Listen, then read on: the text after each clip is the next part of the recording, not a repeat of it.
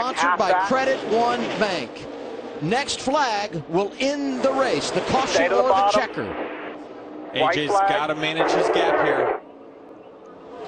He's doing a good job of it.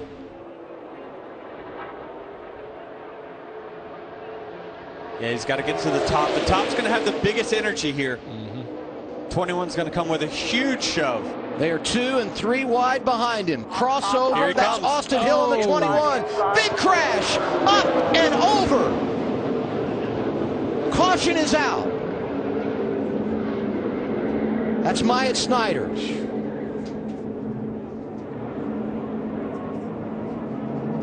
Looks like he's moving around, winning that down. That's a good sign. I believe Austin Hill's got this. And the leader, Austin Hill. But keep this in mind. We freeze the field when the caution comes out on the final lap, so NASCAR will have to review